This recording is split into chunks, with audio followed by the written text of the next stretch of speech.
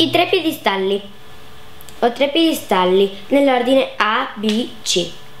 Sopra il piedistallo A ci sono 5 cubi numerati dall'1, quello di sopra, al 5, quello di sotto.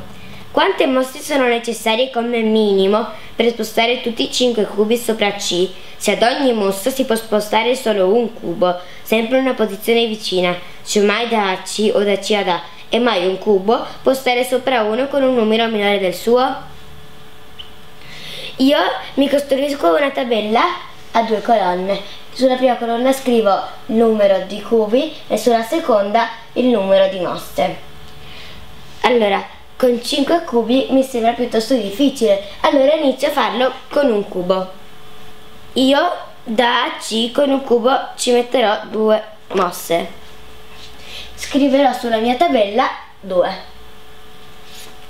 Adesso proviamo con due cubi. Io provo a fare così.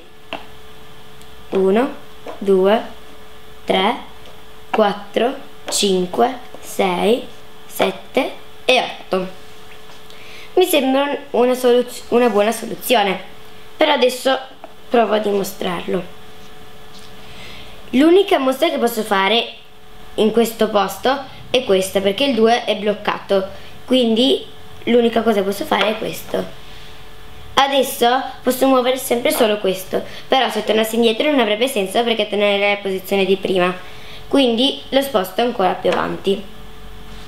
Adesso il 2 si è liberato e se dovessi muovere ancora il 2 tornerei solo indietro alla posizione di prima, quindi perderei un uh, giro, una mossa. Quindi muovo il 2 sul piedistallo B.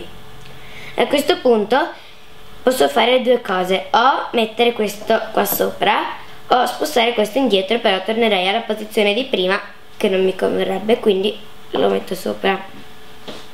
Adesso l'unico che posso muovere è questo, o verso la posizione C ma tornerà al punto di prima, o verso la posizione A che mi sembra la soluzione migliore.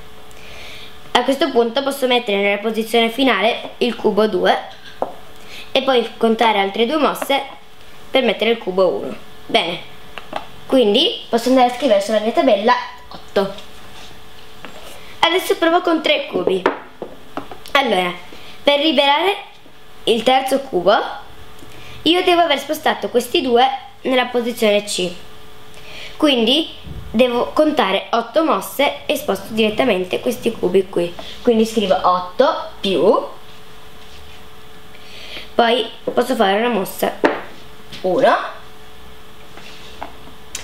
poi aggiungo altri 8 per tornare ad A in modo da liberare il 3 da mettere nella posizione finale, quindi più altri 8 e poi aggiungo 1 per arrivare alla posizione finale più 1 e poi ancora 8 e ho finito quindi 8 più 1 più 8 più 1 più 8 o meglio 8 per 3 più 2 8 per 3 fa 24 più 2 26 quindi con 3 cubi io ho bisogno di fare almeno 26 mosse.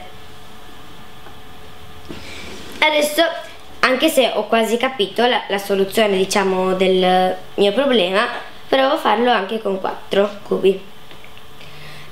Per liberare il quarto cubo io devo riuscire a spostare questi tre nella posizione C. Come prima ho mostrato con questi tre cubi per, qua, per arrivare fino a qua mi ci vogliono 26 mosse quindi li sposto qua e conto 26 a questo punto posso muovere questo e lo metto qui nella, sul piedistallo B. Poi conto altre 26 mosse, in modo da liberare questo, che adesso potrà andare qui. Quindi 26 più 1 più 26 più 1 più altri 26 per arrivare qui. 26 per 3 più 2. 26 per, per 3 fa 78 più 2 fa 80. Bene, ormai la regola l'ho capita. E quindi non mi servirà ancora un cubo per riuscire a fare il mio calcolo con 5 cubi. Però perché posso fare subito il calcolo?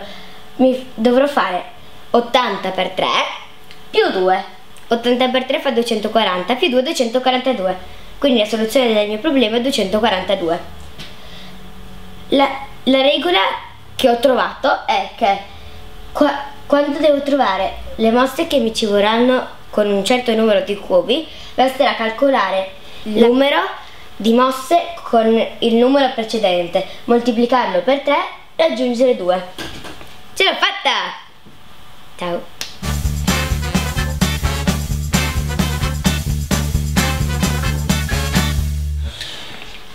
Brava, fatica, non Quasi senza prendere fiato. Sì, sono bravissima, che parlantina. Molto bene. Sì, brava a scuola, sì. Sì. Mi sa di sì. Sì, qualche 6 però si può rimediare. No, quanti 6 hai? Zero. Zero hai. Oh, tutti Eh, cinque. zero. Tutti 5 Tutti cinque, peccato. No, passavo anche c'era.